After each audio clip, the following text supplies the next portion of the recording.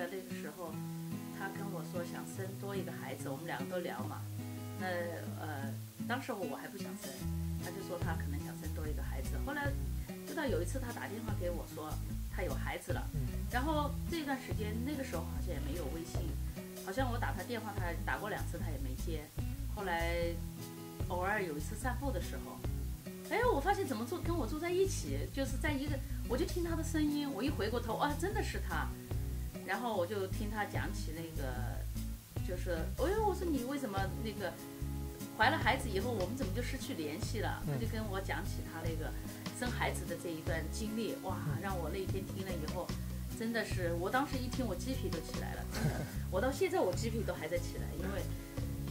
我觉得这个经历真的是。他真的，他他跟我说，我在死门关、嗯鬼门关走了一圈，对，真的。你跟我们说一说。啊、因为其实在这个说回到这个事情的时候呢，就是说，呃，对我来讲哈，就是说是一个，呃，也是人生里面是一个很重要的一个一个时刻。哎那个时候我们其实刚刚好就是呃买了买了新的那个房子，刚买了新的房子，然后还没有真还其实还没有真正的把所有东西都安顿好。哦，对，他嗯说你刚开始买了一个，呃，在那个苏瑞买了一个小一点的，对小的 apartment 是吧？对，对对对，我这这个我知道。嗯，买买了 townhouse，对哦 townhouse，对对，然后就是呃刚搬过去，然后呢，在这个之前的话呢，其实我们呃，因为我我自己我是两千年在国内信的主，所以我来到这里以后的话呢，我就是觉得呃，我首先是首先是去找教会，然后我当我找到教会的时候的话呢，就是说呃，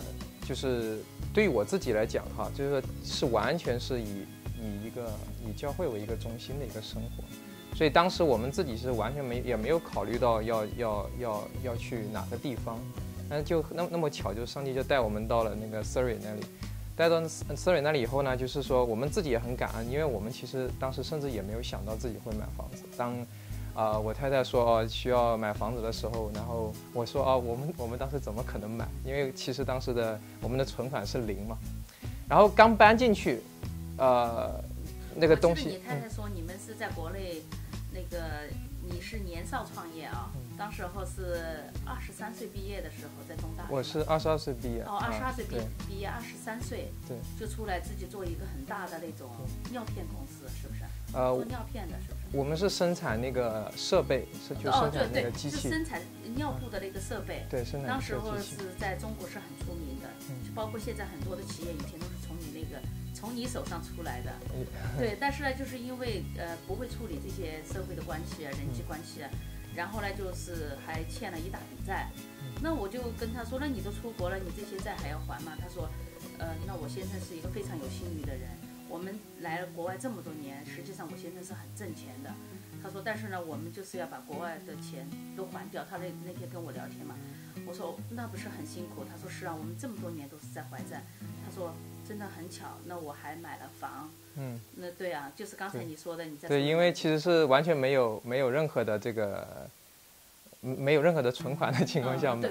那呃，其实就是说是我们我们因为我们非常的相信那个上帝对我们的带领嘛，所以对我来讲的话呢，就是说如果是真的是从神来的东西，一定会成就。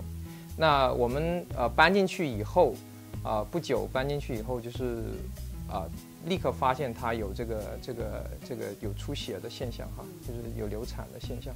那有一次出血量非常的大，我们以为肯定没有了，孩子肯定没有了。那当当时我其实是啊、心里面也是很很痛苦的，呃，然后但是后面去检查的时候发现还在。很快的话呢，就是说，呃呃，在他的这个情况哈，就是一一直在不断的恶化，呃，直到有一天的话，我带他去了医院哈，去了医院以后，那个时候医生就再也不愿不不让他走了，所以的话呢，就是说，当刚刚才大家呃聊到的关于这个，呃，就是说在就是说怀孕孕妇到医院的各种各样的这种，呃。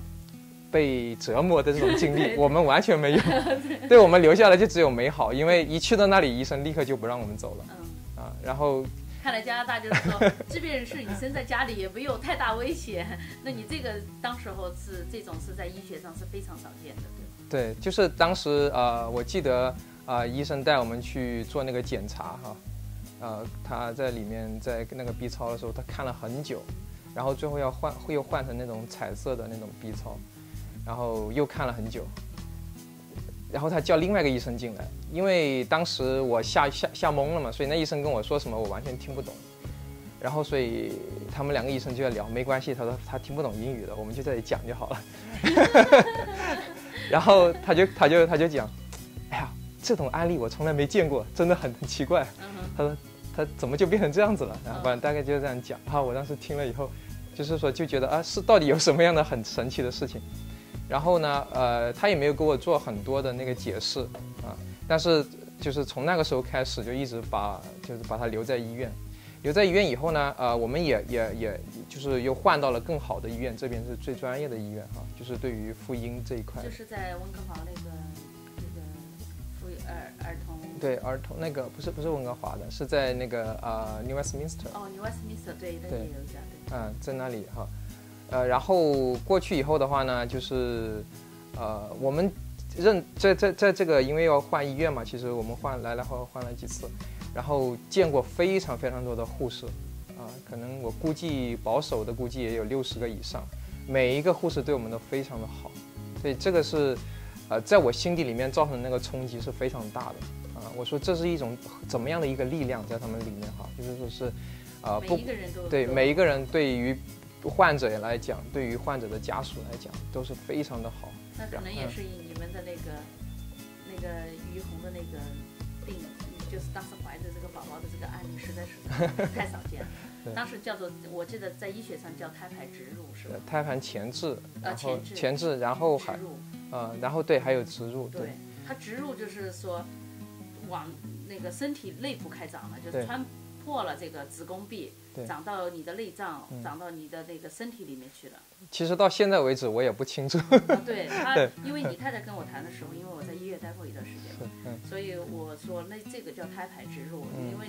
你像学过这些。妇产科的都只是听这个名词，很多人医生可能也没有碰到过这样的病人。但是他当时跟我说，他说我就是胎盘植入。嗯，哇，我当时一听，如果是在国内，很多时候胎盘植入的话，就直接孩子大人子宫就切掉。嗯，然后就因为为了保住那个那个大人的这个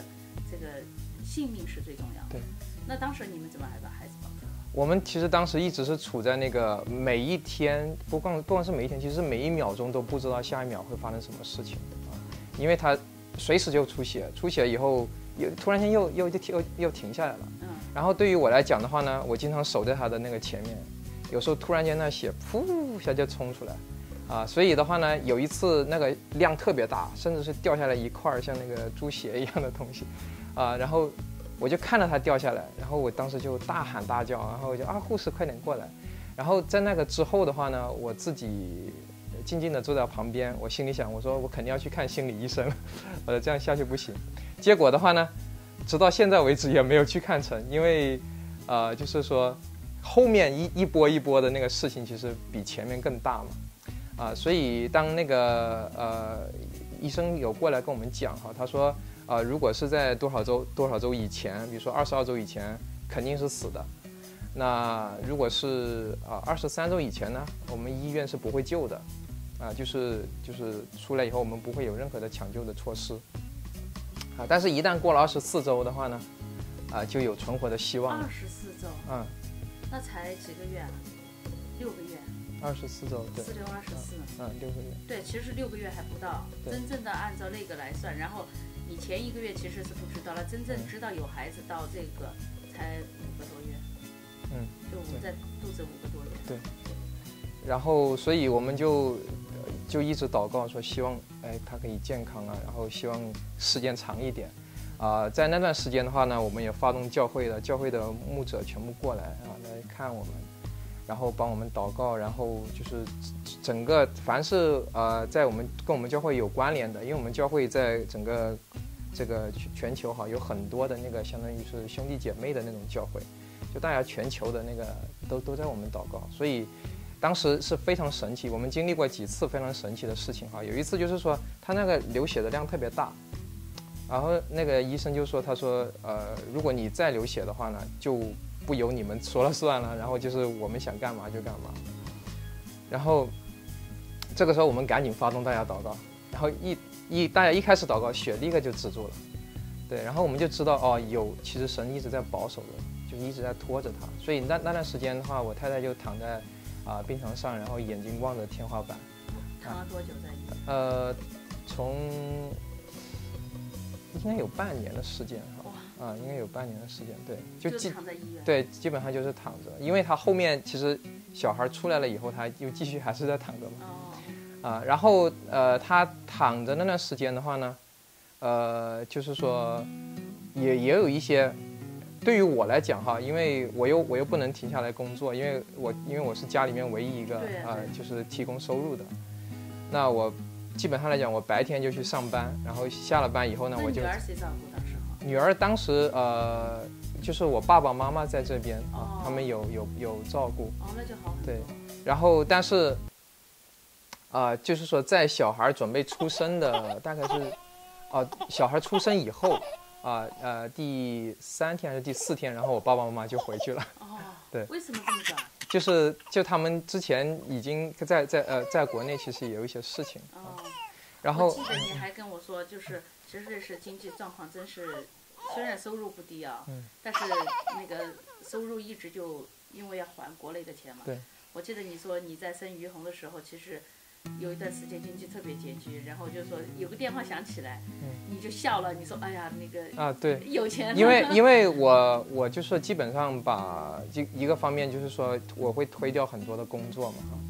然后到了医院以后就是就是洗东西，因为他血血特别多嘛，然后洗洗洗干净以后开始啊帮他预备吃的，呃给他吃完了以后的话呢，然后我就要开始要洗东西，啊又开始洗碗。洗完完以后的话，他可能又流血了，然后又要开始洗，所以就是那段时间，我我洗手我都说我洗我洗怕了，一整天都都是不停的洗手，不停洗手。然后呃，有一天我在在那个呃正正正在上班的时候，突然间医院又打电话来说你赶快过来。然后我放下电话以后，我就继续工作，因为习惯了哈。那个医院经常打那种，就是说相当于是非常紧急的电话，啊，可能已经都已经变成对，已经可能有二二十多次都说是啊，我们推下去了，因为他是他的病病病病房呢是在比较高层哈，那做手术的地方呢是在比较低层的，所以他就会说我们推到下面去了哈，就是意思就是说就要进行手术了。那因为像那么这个当时其实是还只是在二十四周左右嘛哈，所以其实是非常危险的。那如果他推下去的意思就是说有可能就是一个是小孩小孩肯定保不住，大人的生也绝对是有生命危险的啊。然后我就放下电话，然后继继续工作。但是那一天的话呢，突然间我觉得不对，我说我我我得过去啊，我就放下电话，然后就跟公司说了一声，我就开始往医院跑。啊，到了医院以后啊，我进了他的进他的病房。一看那个场景就把我吓懵了，那个地上哈全是血，对，然后那个整个整个床，整个那个睡的那个白的床嘛，就被整个全部被泡泡的都是那个就泡红了，而且是很深很深的那个红色。然后我我退出去的时候看到一个盆子，一个大盆子里面也是装满了血。然后这个时候的话呢，我当时就是就往那个往楼下冲哈，冲下去以后的话呢。呃，已经他已经在手术了哈，然后那个那些护士就过来跟我讲哈，他已经在里面了，呃，你现在不能进去。啊。我说好，没事儿，我就装成很镇定的样子坐在那里，因为我我非常的相信哈，就说一个是有上帝的保守，第二个我相信那他们的那个医生。